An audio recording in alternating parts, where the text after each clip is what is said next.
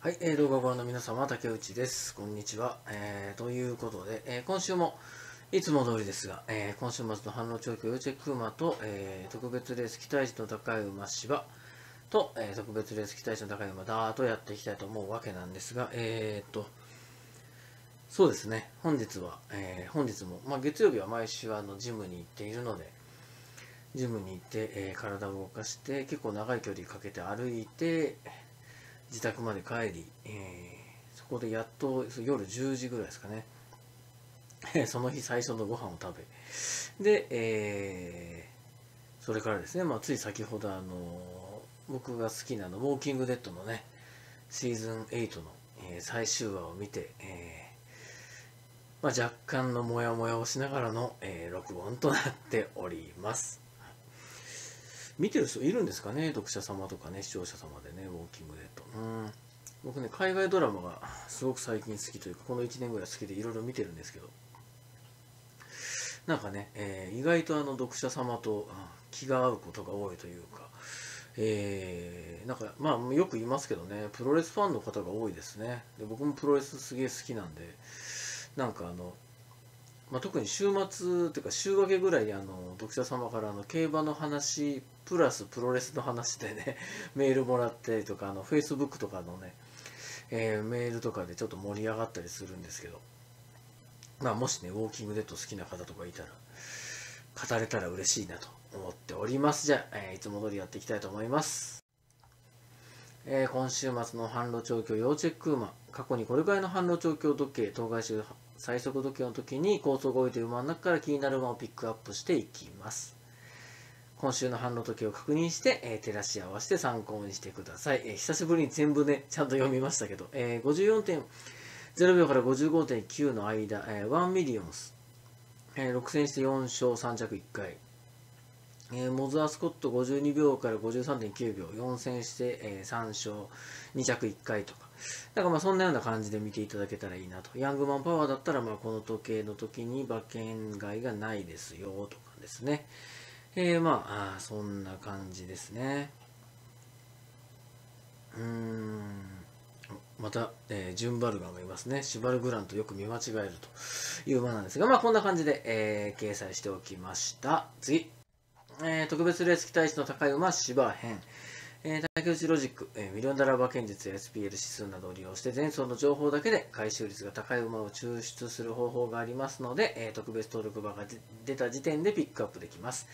それをこの動画だけで特別公開ということで、えー、これも久しぶりに全部読みましたが、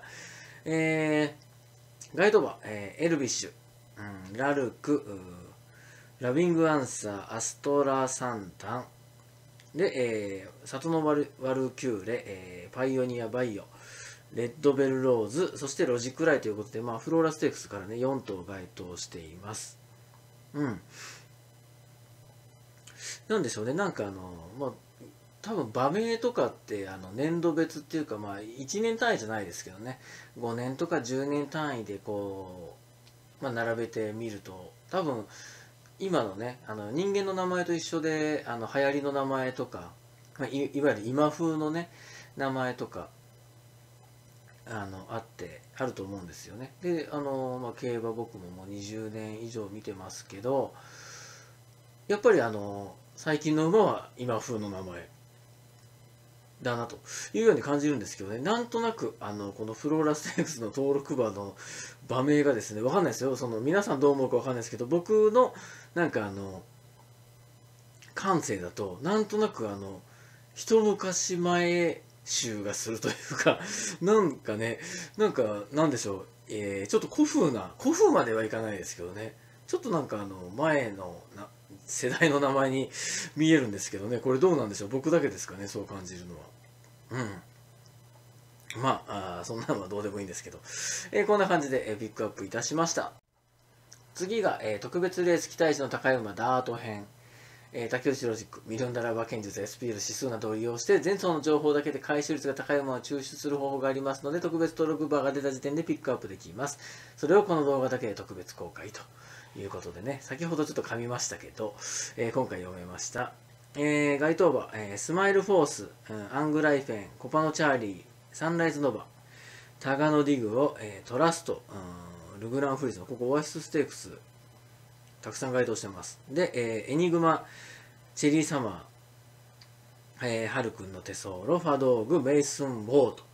いう感じになってております。うんまあ、このレースに出走してきたら注目してみてはいかがでしょうかという感じになっております。えー、でもブログの方、えー、特別登録時点総合評価指数とか、あアップしてます。で、この両方のサイトで、えー、先週のね、ノイジ走った馬の、まあ、実装の狙い馬とかももうアップしてありますので、えー、ぜひぜひアクセスしてみてください。はい、えー、片方完売御礼、えー、片方残り少ないですよということで、えー、いつも通りの告知です。DL マーケットさんの方に2つほど電子書籍アップしております。という告知です。で、えー、先週ですよね。そうなんですよ。まあ、皐月賞に向けてね、勢いをつけようと、まあ、中山8レース、まあ、なかなか、あいい狙い目だったんですね。アームズ指数2がまあ4位で、まあ、ギャップ馬にも該当して、レコフィール指数も3位。まあ、7.7倍でしたけどね、えー、単勝を取ることができました、8レース。で、9レース、えー、これ人気なかったですね。アームズ指数1位、で、アームズ指数2位も1位、で、GTB にも該当してレコフィール指数も3位上位だった、でも単勝21.3倍だった。えー、外からね、ぐんぐん伸びて差し切ってくれました。で、9レースも当たったと。で、10レース。もう出遅れた瞬間にですね、あの、もうレース見るのやめようかと思うぐらいの、えー、出遅れをしました。まあ、逃げ馬ですからね、この馬。だったんですけど、なんか、うん、結構あの、なんでしょうね、足色がいい感じで、コーナーの辺り動いてるなぁと思ったら、まあ、後方からあの 逃げ馬なのにね逃げ馬だったのに前頭ごぼう抜きして、えー、1着になってくれて、えー、26.7倍結構いい配当になりました。1万円買ってたんで、えー、アームズ数2位がまあ4位。人気薄でしたけどね。レコビル指数2位で、まあ、26.7倍。8、9、10と来てですね、これはもう今年の皐月賞いただいたなと思ったんですが、えー、サンリバル。2着でした。無念でしたけどね。僕はね、えー、そうだな、4コーナー回った時に、えー、まあ、勝ち馬に合わせ馬の形にいけたら多分、まあ、叩き合いで勝てるだろうなっていうふうに途中で見てて思ったんですよね。で、やっぱサンリバルって、あの、まあ、近いとこにね、馬がいる。まあ、馬と合わせる形になるとか、まあ、その、なんだろうな、勝負根性での勝負をする時ってとても強い馬だなという印象がありましてで、まあ、前走ね、えー、勝ち馬に関してはまああのー、ちょっとレベルが違う。ただ23着に関してはまあ全然差がなかった中での4着で人気も今回なかったんですけど、まあ、前走もちょっとねそういう勝負根性を見せるような展開にはならなかったんで、まあ、今回はあまあ先行して直線でそうですね、まあ、ターゲットとする馬にくっついて、で、えー、叩き合って抜け出してっていう風に競馬するかなと思ったんですけどね、前3頭がちょっとぶっ飛ばして、えー、まあ、離れた、そうですね、すごく離れたところの、えー、まあ、4、5番手ぐらいでしたか、を走る形になっちゃったんで、1頭だけこれポツンってなると怖いなと。で、前から、前から下がってくる馬にくっついてもしょうがないですからね。一緒に上がっていくとか、前に目標がいる形、うん、ならいいなと思ったんですけど、まあ、後先ジョッキーがいいとこで仕掛けて、で、まあ、並びかけることができなかったんでね、ちょっと、うん、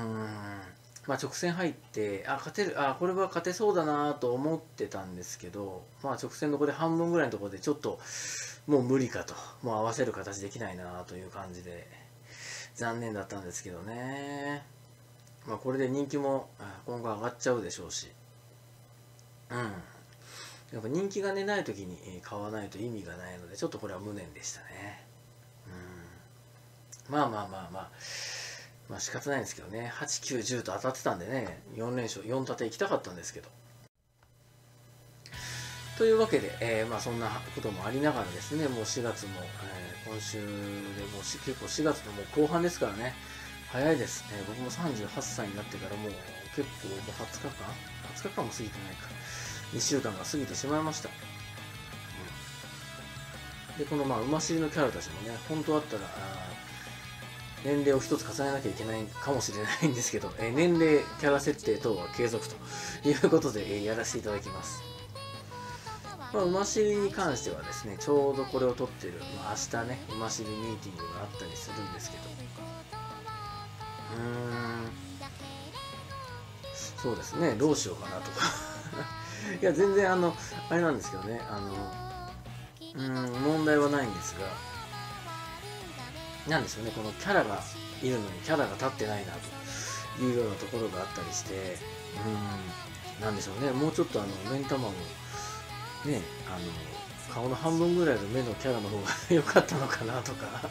まあ、いろんなことを思ったりするわけなんです僕はね結構このキャラたちのビジュアルは気に入ってるんですけどまあでも若干若干なんでしょうね。服装が なんだろう。ちょっとダサめ？ダサめかなとは思うんですけど。うん。まあでもねあのーなんでしょう、まあ、このキャラが好きだみたいなことを言ってくれる方もね、本当にごく少数あのメールいただいたこともありますので、まあ、もっとね、このキャラたちが、あの、なんだろうな、生き生きしてるようなものが見せれたらいいんじゃないかななんて思ったりもしています。もちろん予想の内容とかもね、あのやれることは今後増えていくと思うので、今、あの生まれん縛りですけど、あの、まあ、3連単であったりとか、まあ、そういうこと単勝とかね、えー、でもいいですし、うん、なんかあと、まあ、企画でちょっと前々から言ってて、はい、やれやっていろんな人に言われるんですけど、まあ、僕と、まあ、リアルタイム対決とか、なんかそういうのをね、ちょっと今後はやりたい、今年はね、やりたいなと思っていたりします。はい、のでね、あのぜひダウンロードしていただけたら嬉しいなと思っております。うーん、今週はあとは告知はないかな。あ、あの、でも、